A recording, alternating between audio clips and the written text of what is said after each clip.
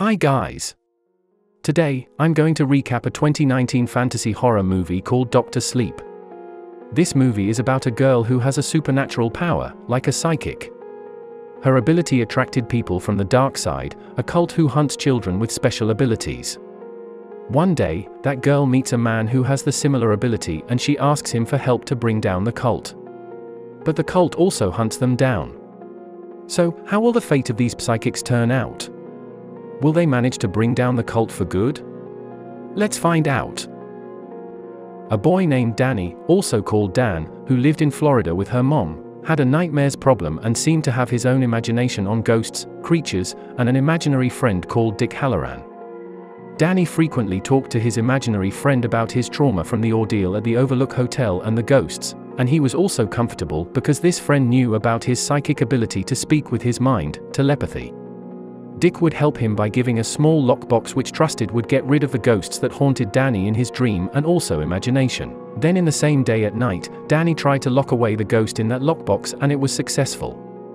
Years later, Danny has become an adult and he lives a rough life, still going through nightmares and is an alcoholic. His mom already passed away when he was 20 years old and he has been living by himself since then. On the other side, a cult named the True Knot, led by Rosie the Hat, is hunting for the Shining Children, children with extraordinary abilities. They are a group of people who hunt, kidnap, and kill children or take the children for their own advantage. This cult is aiming for something that is impossible for humans, that is to live a long life. Therefore, they consume the steam, a psychic essence released by torturing and killing those who have the shining. The True Knot are now preying on a girl, Andy, who has the ability to use her echo voice to manipulate people's mind, like a brainwasher. Andy has been using her ability to swindle people so she can get what she wants without being noticed as a swindler, because she can control the mind of her target. Rosie and her right hand, Daddy Crow, try to capture her. Knowing that she is in danger, she uses her ability to stop Daddy Crow, but it does not affect Rosie. In the end, they manage to capture Andy. Rosie then talks to her, convincing her to join their team. Rosie knows that Andy has hatred towards man and uses it to lure her by saying she can live long while doing what she wants. With that, they succeed in constraining Andy to join their cult, and right after, at night, they do the ritual to turn her into one of them by inhaling the steam. Meanwhile, Danny moves into a new town in New Hampshire and meets Billy. Meeting Danny with his condition, Billy offers some help, allowing Danny to work with him and also finds Danny a cheap flat in the same building as his flat with a big chalkboard on the wall. Danny, still haunted by nightmares and trauma, seeks help through Billy. After knowing Danny's condition and his alcoholic behavior, Billy would help him with going to a religious community. In this community, Danny gets to know a doctor named Dr. John. Dr. John then offers him to do a night shift job at the hospice, the place John is working. One night, a cat named Azriel comes into one of patient's rooms. Danny sees it and would stop the little cat but it does not listen. When Danny is inside the patient's room, he calls Azriel once again to come out but the patient calls out to him, saying he knows what the cat wants to say. He says that the cat always seems to know when it is time for each patient to go to eternal sleep, and it has been that way since he got into the hospice. Knowing the fact, the patient gets scared and Danny tries to calm and assure him with his psychic ability, or his shining, to do telepathy. Afterwards, the patient rests in peace. Ever since, Danny always comforts dying patients with his shining and with help from the hospice's cat. Thus, they call him Dr. Sleep for his ability. Eight years later, Danny seems to have controlled his alcoholism now and is living a better life. One day, he looks at the chalkboard wall and it is written, like someone is trying to communicate with Danny through it. The one who communicates with Danny with a psychic ability is Abra Stone. She is a young girl who also has the Shining, with a similar ability to Danny. As for the True Knot, they keep hunting the children for the steam. The steam is so precious since they eat it to live long. But nowadays, the steam has become increasingly rare, causing the True Knot, who still extend their life, to starve.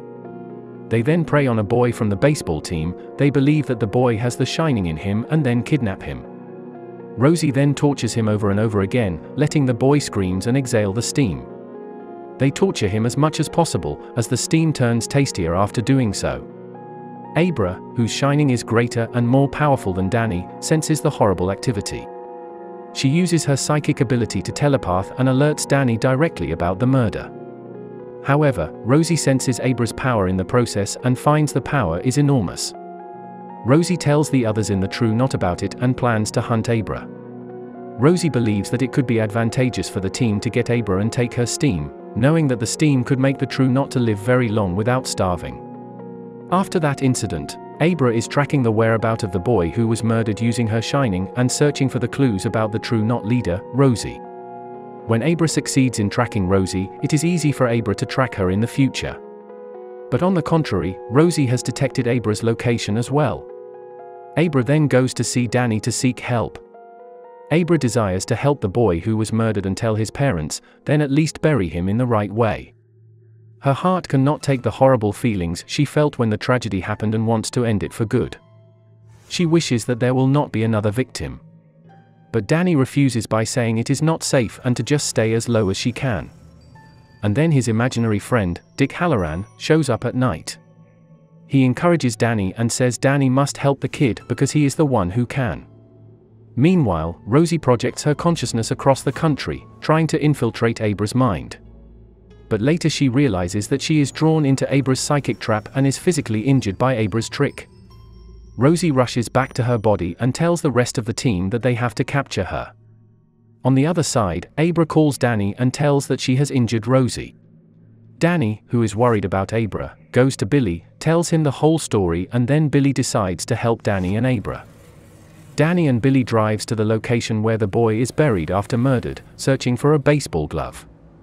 The baseball glove will be used by Abra to track down the true knot. After finding it, they begin to set the plan to trap the true knot.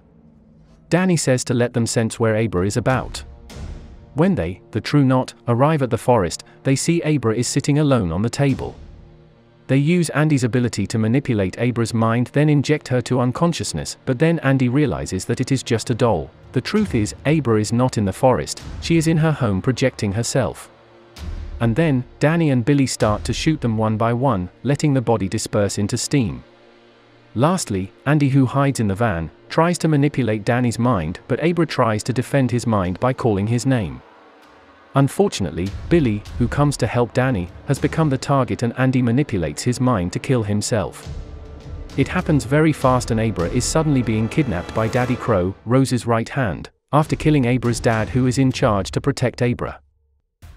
Danny is frustrated because he cannot reach Abra by telepathy. He even wants to drink alcohol and just forget about his troubles. As he tries to calm himself, he manages to use his power deeply, searching for Abra's weak signal. He then captures the signal and finds Abra in a car with Daddy Crow, and uses his psychic power to try a new trick. He takes control of Abra's body and with his power, he controls the car until it crashes into a tree and Daddy Crow bounces off the car and dies. Meanwhile, Rosie, who is connected with her team, feels the pain of their death and tries to avenge them. She uses the remaining steam to get full power to take down Abra. As Rosie is preparing for battle, Danny and Abra also make a plan. They plan to lure Rosie to follow them to Colorado, to the place where Danny had the trauma, the Overlook Hotel. Believing that it will be equally dangerous for Rosie as it is dangerous for them, they carry out the plan. They arrive at the hotel and Danny rushes to the boiler room to light up the electricity. Danny then reminisces about his childhood in trauma, meeting with his imaginary dad as a bartender. His dad tried to kill Danny and his mother when Danny was a kid. He remembers everything clearly, even his mom's death, which causes pain in his heart. Suddenly, Abra calls him and wakes him up from his imagination with telepathy. Abra tells him that Rosie is nearby. Shortly after, Rosie arrives and finds Danny and Abra are standing at the hall with an axe on Danny's hand. Danny and Abra use their shining to send Rosie to a place that looks like a maze with a pile of snow. Rosie tries to catch a little girl's shadow while Abra is taking control of this maze. She uses her power to hurt Rosie so many times until Rosie concentrates and manages to track Abra, and she grabs Abra's neck to capture her. Soon, she realizes that this is not Abra's mind, that Abra is just a bait. It is Danny's mind with a lockbox approaching Rosie to lock her, but unfortunately Rosie is aware and using her power to get back to reality. Danny orders Abra to run away while he will try to fight Rosie alone. Rosie then overpowers Danny in a fight. He uses the axe to kill Rosie but Rosie counterattacks him by hurting his leg and torture him to get Danny's steam. As soon as he knows he is not capable of fighting Rosie alone, he saves himself by opening the lockboxes that have been sleeping for a long time in his mind. By opening the lockboxes, he releases the Overlook's ghosts.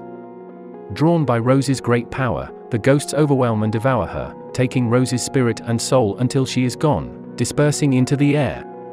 But the ghosts are not finished yet, they turn to Danny who is hurt and laying on the floor and then they possess him. While Abra is running, she then meets some ghosts that are already released. Abra then meets Danny, who is possessed by a ghost, trying to kill Abra. She runs away and locks herself in a room, but soon Danny finds her. Abra is sure that he is not Uncle Dan, the man who has helped her since the beginning.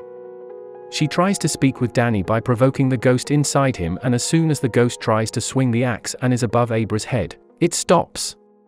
Then the real Danny shows up, but not for long, just to warn her to run away and go out of this place.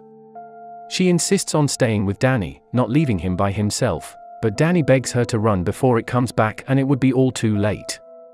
So Abra runs the way out of the hotel while the possessed Danny goes to the boiler room to deactivate the machine so it will not blow up. As soon as he arrives, Danny regains control over his body and mind, letting the machines overheat and leak. Then the fire starts to burn the room and then swallows the whole hotel. Abra, on the outside, still hoping that Danny would escape the fire and get out of the hotel. In the boiler room, Danny feels like he reaches his limit and then there is a glimpse of his mother who calms him down. Thereafter, Danny passes away. Days later, Abra speaks to Danny's spirit, she is happy because she has known that Danny is okay. Danny says sorry that he put her in danger and that was the only way. And then they talk about Rose's sentence back then, in which Rosie was not the only one who has been killing children and eating the steam to live a long life. But Danny encourages Abra and tells her to shine and not to hide her gifts from the world. After that, her mom knocks on the door and asks who she was talking to. Abra is insecure and hesitant to tell her mom. However, she remembers Danny's words and decides to tell her mom that she has been conversing with Danny. Not only that, she knows that her deceased father is fine. Later, Abra encounters one of the Overlook's ghosts, the one who haunted Danny years ago, in a bathtub. But she is not scared, she confronts it and closes the door behind. Subscribe to watch more videos like this, turn on notifications, and leave a like and comment to help the channel out. Thank you for watching, and see you next time.